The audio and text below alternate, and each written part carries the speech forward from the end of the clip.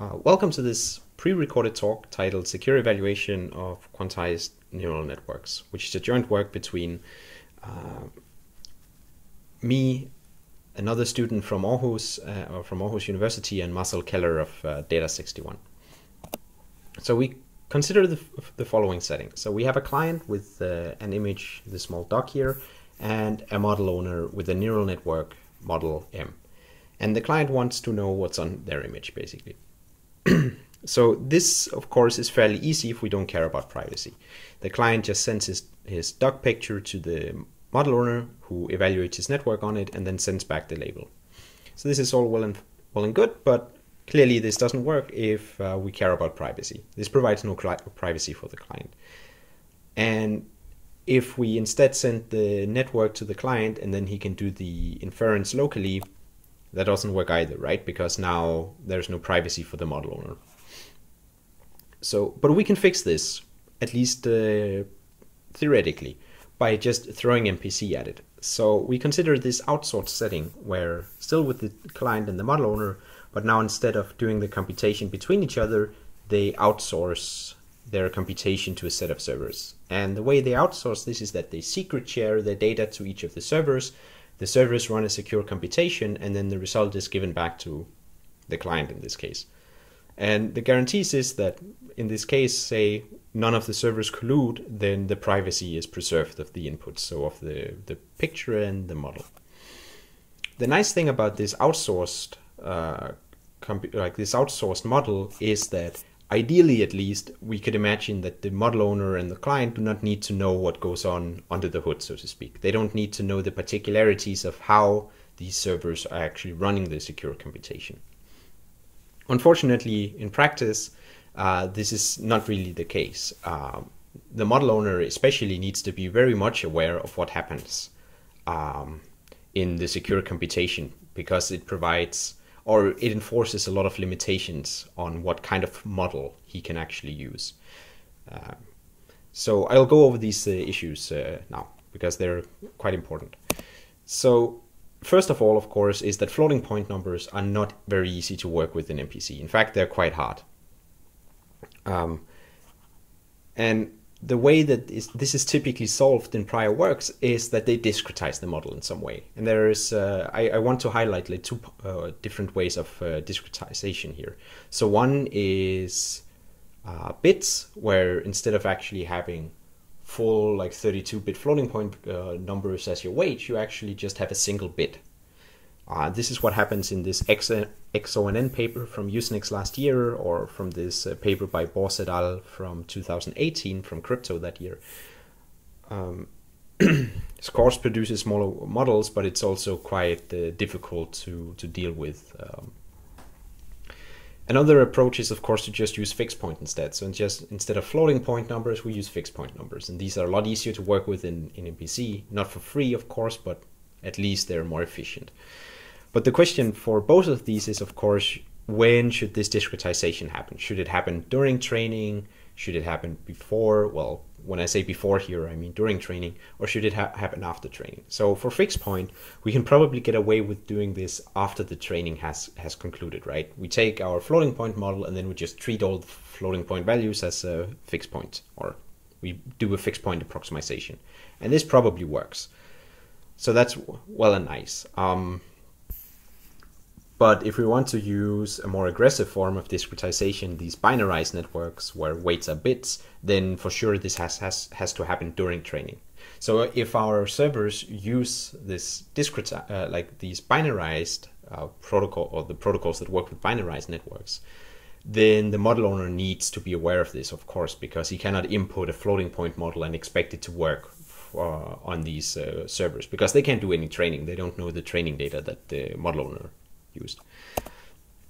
Another question here is, of course, you know, what happens to the accuracy? It might be the case that for if we choose the some bad fixed point parameters, for example, then we're going to lose a lot of accuracy in our model. So the model owner, again, he needs to be aware of uh, what would be acceptable parameters, uh, fixed point parameters here. Another issue is that nonlinear functions are expensive. So a neural network is essentially a linear operation, then a nonlinear one, then a linear operation, then a nonlinear one, and so on and so forth. Um, so there's a lot of these in a neural network, and if these are expensive, of course, it's going to be expensive to, to do the secure prediction. One way to solve this is that we could just use garbled circuits. So this is what happens in Gazelle, which is this paper from 2018, or Delphi, which is a paper from this year. Uh, both are from Usenix.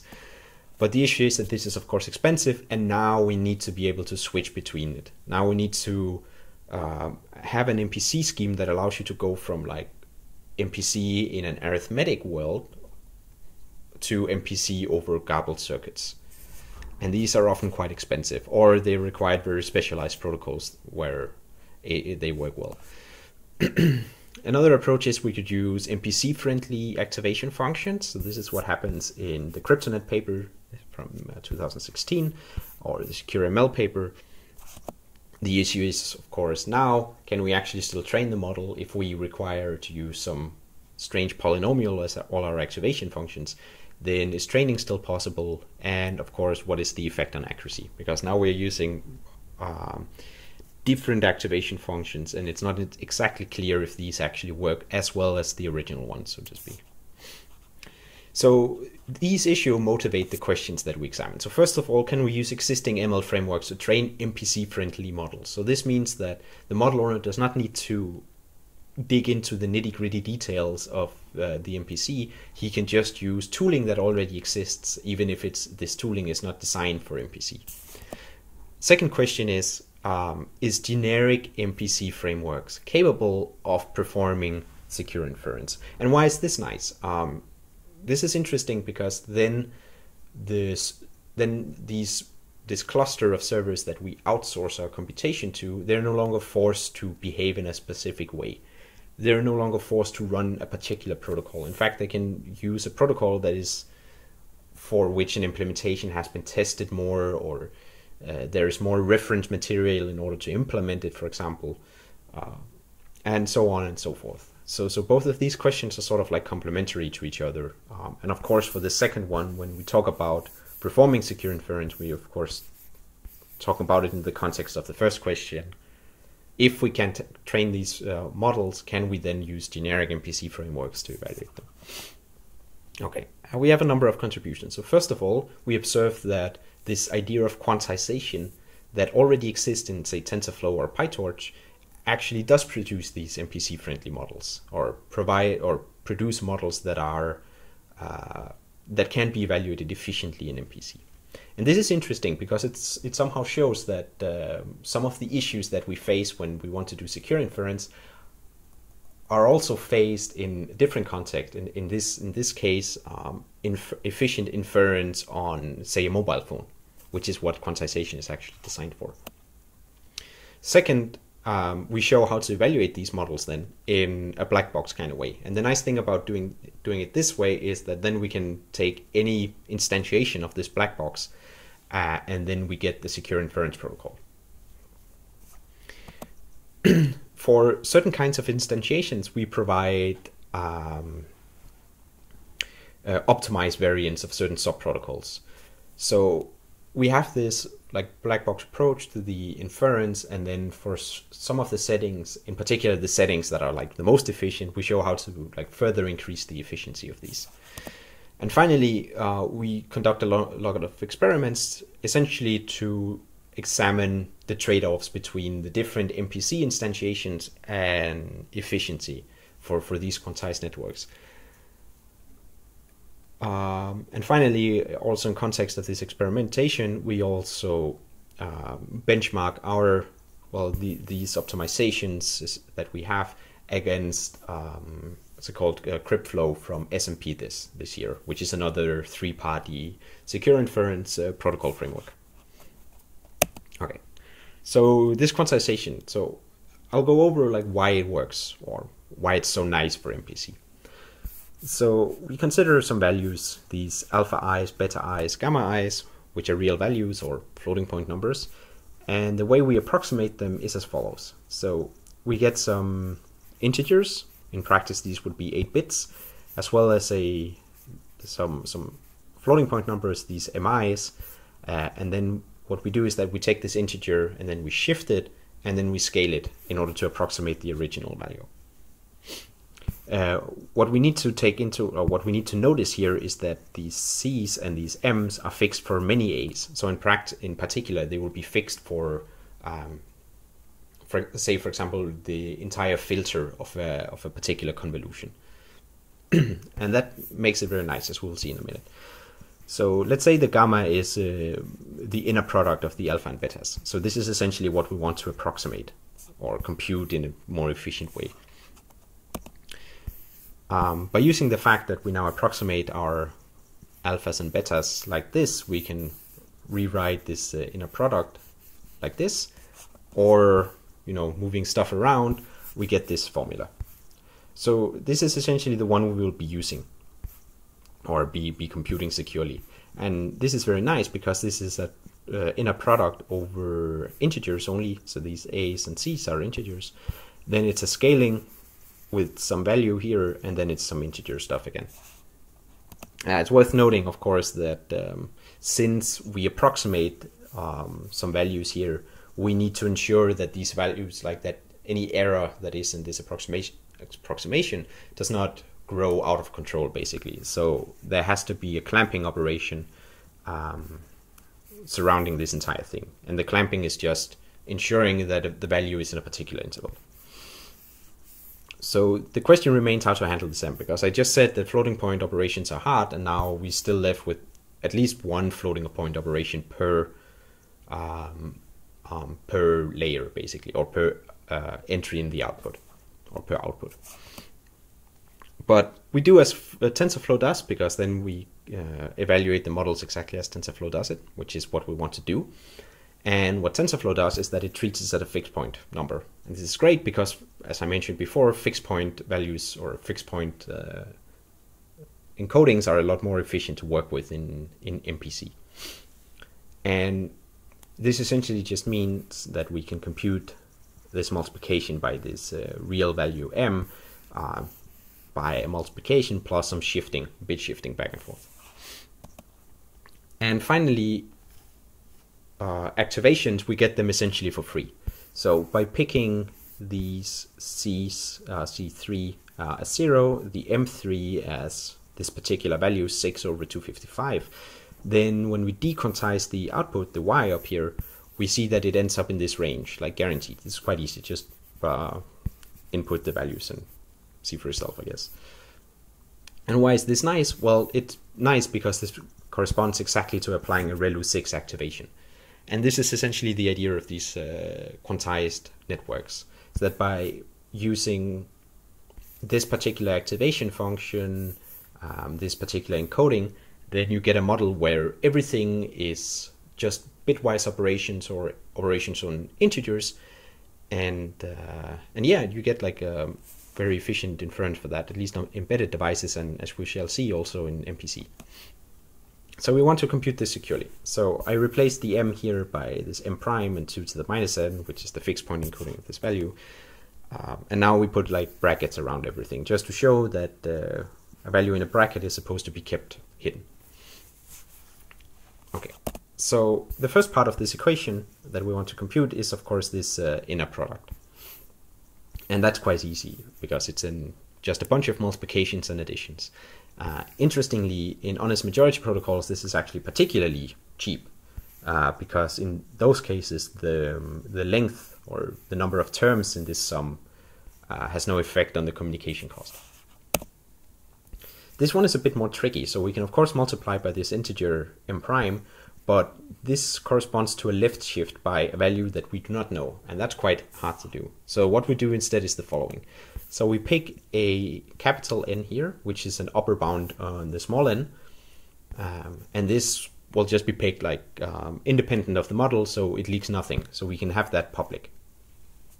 And then we multiply by this value and notice that this 2 to the capital N minus small n, that's going to be a positive power of 2. So we can treat that as, an, as a regular multiplication. And this value can, of course, be uh, input by the model owner himself. So it does need to be computed securely, although that's also possible. Um, what we do then is that we then truncate by n, and that's quite nice. So it's essentially we shift first to the left, and then we shift to the right. And this this trick turns um, our our uh, right shift by a secret value into a left left shift by a secret value plus a right shift by a public value. So that's quite nice. The downside is that this requires a bit of extra space uh, because we need that this initial multiplication by 2 to the capital N minus small n, that that doesn't overflow. Uh, we have this addition that's for free, and then we have the clamping, which is just two comparisons, which is a well-known, well-studied, well like implemented all over the place primitive in MPC. and we need these comparisons to um, to compute this clamping, of course, because we can express clamping a value to an interval as, as the small equation here. All right, so the kind of experiments we uh, perform are as follows. So we download 16 pre-trained models from the TensorFlow repository. All these models have 28 layers and between half a million to like a bit above 4 million parameters. Um, these are the so like these are called mobile nets um, and they're designed for, well they're called mobile because I guess they're designed for mobile phones. Um, all of these are ImageNet networks, so they are uh, networks which takes inputs that are like a couple of hundred bits per in each each direction, and then they output or then they classify this image uh, into one of a thousand categories. So they're quite large and they're used in practice. These uh, models. And I want to stress that we take these uh, pre-trained models and we don't do anything with them. Like these are just downloaded straight from the TensorFlow repository. Um, we evaluate these models uh, across all the different interesting thresholds settings, corruption settings, and algebraic structures we can think of for, for MPC. So in particular, making use of the fact that we actually have this black box description of, of uh, how you do secure inference. So more precisely, this means that we test this with three parties and one corruption, two parties, one corruption, semi-honest and malicious security, and secure computation modulo prime, and secure computation modulo power of two. Um, I will go over some of the results for, yeah, for, for these things, and I in the paper we also have like a bit extra. I, I will focus mostly on like running times for this inference um, in the paper, we also have like communication, so you can look at that. We also have um, running times when you increase the number of parties beyond uh, three, which is as like a spoiler. It uh, like there's no point in doing that. um, for for this MPC or to instantiate these guys, we use uh, MP-SPDZ, and all the code is uh, available online in the MP-SPDZ repository. So not surprising, we find that the fastest um, combination of parameters for the MPC is passive security modular power of 2 um, for the three-party one corruption or honest majority case. And here it's like 13 seconds for the passive evaluation um, down to like 3 seconds. If we want active security, it's uh, around a minute and a half if we want to do computation modulo power of 2, uh, or around 2 minutes and a half uh, modulo prime if we do a probabilistic truncation similar to what happens in SecureML, so this is a truncation that has a slight chance of being off by one, essentially, and and this would be for the fixed point uh, that we have in in this M, then we get uh, an increase by like a factor of four for uh, the the fastest setting we have. The increase is, is not as fast in the other ones, but that's because this uh, particular setting the passive security uh, modulo power of 2 for an honest majority, we also have other optimizations, essentially a more efficient truncation protocol uh, in our paper. But this means like this is definitely um, viable as a practical thing, the one we have here as well. Um, so I think those these are quite nice uh, results. On the other hand, if we use dishonest majority, then it's a lot slower. So this is still seconds, but now we are in the hundreds. And this is because because pre-processing is very expensive when we have when we're working this dishonest majority. So these times are of course full end to end. It's with both pre-processing and the online time. The online time is going to be faster, but um, the pre-processing is quite expensive here. Interestingly, also is that uh, pre-processing is faster modulo uh, prime than it is modulo power of two. Um, so this is why we have like the reverse situation here. Here the fastest is actually uh, passive security modulo prime. Finally, as I mentioned, we compare against CrypTFlow, which is from S&P this year. And the protocol we use is uh, this column here, the uh, passive security modulo uh, power of two with an honest majority. And we benchmark essentially all the same protocols that they do in, in their paper. So it's these CIFAR-10 models, the ones just called A, B, C, D, which is like slightly small, plus SqueezeNet. Um, and in this case, we perform, depending on the network, around S as as well, up to twice as good, I guess. And for the larger networks, these ImageNet networks, so for a SqueezeNet, ImageNet network, for ResNet, and for DenseNet, uh, we perform quite well, like two and a half seconds, 18 seconds, 19 seconds versus 10, 26, uh, 37. So I think these are all very positive results.